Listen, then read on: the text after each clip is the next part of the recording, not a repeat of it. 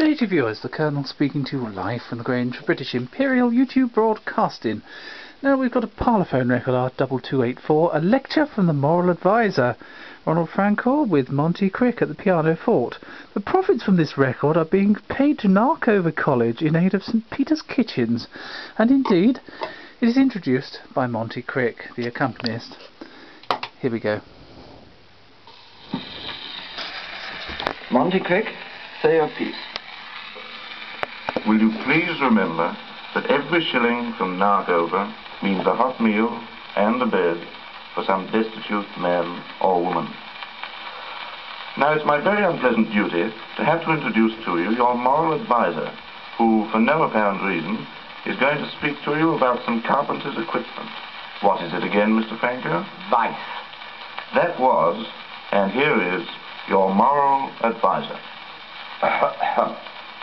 well, Narkovians and other pub crawlers, to begin with, I want you to know that all I'm getting out of this is kudos, which is Greek for some gardens near Richmond. Now, have any of you any special problems?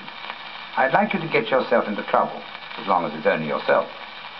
It is then, as your moral advisor, that I may help. As the razor said to the soap, it's fun getting into scrapes. Are you leading a straightforward, decent, and continent life? If so, you're a wet. Dream of adventure, my friend. As Ophelia said to Romeo at the third act, let not I dare not wait upon I would. Seize Dame Opportunity, or any other dame who's near, with both hands, and then let go, lest the long arm of the in-law should get you. A little advice to ladies. If he's going too far, start wearing cotton stockings. Cheap hose can always extinguish the flame of passion. Fireman's joke. But men, listen. You don't smoke? You should. What grander than a fine masculine cough in the morning? Don't throw away your trust in the nerve-soothing effect of tobacco. You don't gamble? You should. Even if it's only a bet with a friend as to who's going to kiss the girl first. You may win by a neck. And then the thrill of putting your shirt on a horse and seeing it win with pants. It's such a change. You don't drink? You should.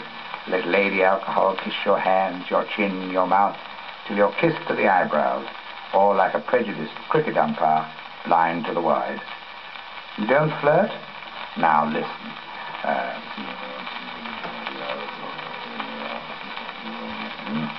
I'm afraid all that part of the record has been cut. But you know what I mean. The point must be sticking out a mile. I want you all to reform. If you haven't done anything wrong, you can't. Now, are there any questions? Well, uh, Yes? I love joining parties, but I can't stand drink. What shall I do? Let them stand it till you're rumbled. Uh, my fiancée doesn't know anything about life. How shall I teach her? Give us one of my parlophone records. I've got a very deep voice, and my children laugh at me. What shall I do? Cut them off with a shilling. So it's good that they don't like anything base. May a girl ask a question? Oh, certainly, yeah.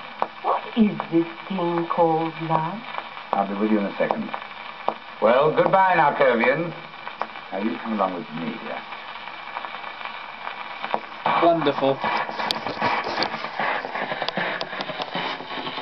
Hopefully you enjoyed that, viewers. Thank you and goodbye.